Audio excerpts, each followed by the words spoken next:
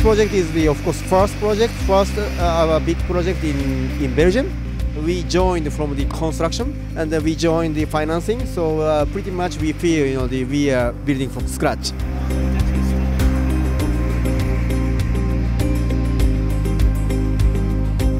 What we've seen is just uh, almost unbelievable.